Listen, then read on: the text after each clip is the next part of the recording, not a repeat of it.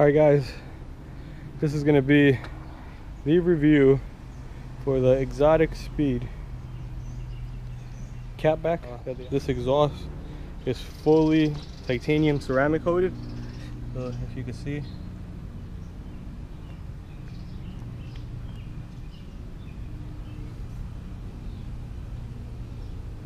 There's their nice stamped logo on there. Hangers are very nice. They're not hollow, but they look really sturdy. Uh, these are the tips. I really like these tips. Uh, they have their logo stamped right on top of it. And if you see, they're pretty, pretty nice in size as well. Um, I believe, if I'm not mistaken, and anybody that wants to go into a quad system, you can actually buy the the tips from them. Tips, you could just swap everything out and you can have yourself a nice quad tip exhaust. I just want to show you guys just a little bit about like the quality and everything else. Nice big resonator. Specifically since I have a whole Tomei Tomei setup. So it's gonna be Tomei unequal length. And then actually I have um is a Tessuto high flow front pipe with a cat.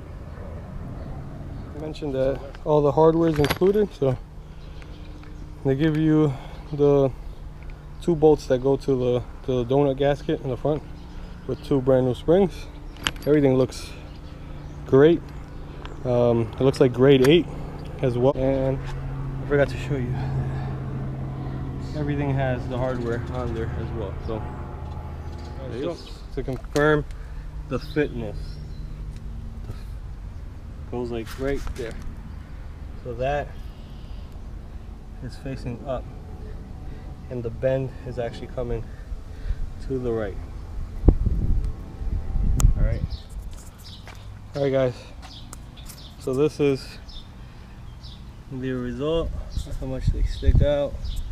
I'm just tightening things still, not fully done, but you can see the fitment looks really good. And tips look amazing. Let me show you guys underneath the car now.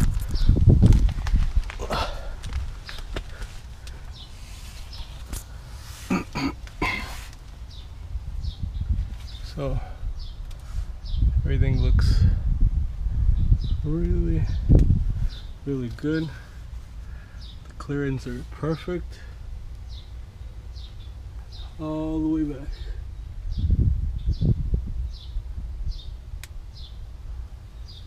All right now to tighten up these tips and firing this baby up